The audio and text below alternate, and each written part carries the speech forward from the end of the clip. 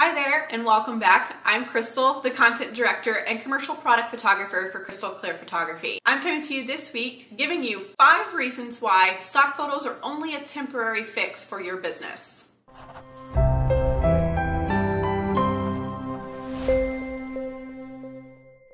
First reason that stock photos can only be a temporary fix for your business is because when you're really looking to elevate and take your business to the next level, you're going to want to start marketing. And maybe you're going to start some Facebook ads to try to get your products out there and in front of more audiences so more people will purchase and buy, right? So when you do that and you're using stock photos or some kind of mock-up photo that's out in one of the stock shops, it can lower your conversion rates. People are going to be less likely to click on something that they might have seen before and Facebook and Instagram have funky little algorithms that pick up these kinds of things. And if people aren't clicking or liking your posts because they feel like they've seen it before, then no one's clicking on your product and Instagram and Facebook are less likely to be able to push it out there. So it will definitely lower your conversion rates. So I would consider doing custom mock-ups for yourself periodically to just keep everything very fresh and make sure that your ads are actually converting and giving you sales that you're looking for.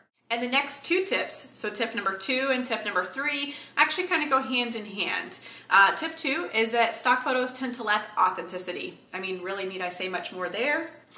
Uh, the reason they can lack authenticity is because they're not tailor fit to your brand and your personality and your style. It may be something that you're just settling for. With that being said, people in your industry are going to start using some of the ones that are going to be similar because, well, when we all see a beautiful stock photo, nine times out of 10, we're probably not the only one that thinks it looks great. So we're probably not going to be the only person who's going to purchase it. That's the point of the stock shops for them to be able to get revenue.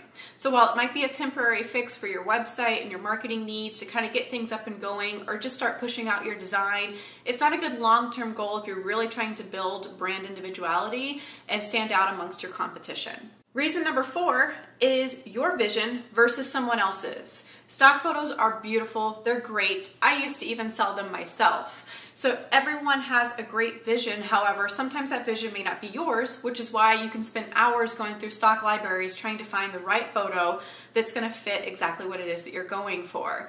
So when you do your own photo shoot versus having a stock photo, you get an opportunity to really control more of that vision and tying in more of your brand and the things that you would like to see and you want to have present for those stock photos.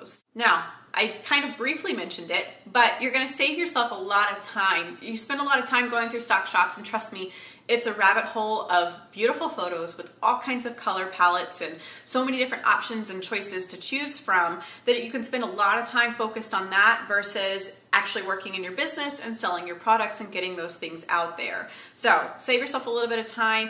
Don't also worry about having to settle there's nothing worse than feeling like you settled on a photo only to not be happy with it. So when you do a custom shoot versus choosing a stock photo, you get an opportunity to not have to settle for anything less than perfect and what's going to fit your product and your brand best. And one last bonus tip. A photographer might cost a little bit more upfront, but those photos are yours forever, which means that you can constantly be able to reuse those and filter them through. So maybe you use them for a little while, you come back and you use them again in six months, use them again in a year, you know, come back to them again in two years, whatever you might do, that content is yours to own and nobody else will ever have it. So while a photographer might have those upfront costs that you may not be wanting to consider just yet, when you do get to that point, just know that those images are going to be yours. They're going to be custom fit to exactly what you're looking for. So not knocking those stock photos. They are definitely a really good temporary fix, especially if you're starting up and getting going. But overall, in the end, make sure that you take the time to invest in your photography, invest in what you're going to want your business to look like and creating the brand that your product is going to be recognized for. Until next week, make sure to click subscribe below. Keep up with all the tips that I have each week to help you improve your photography skills, working best with the photographer. And if there's anything that you see that you want me to talk about, make sure to drop a comment below so that I know exactly what it is that you're looking for and can make sure you have all the information that you need.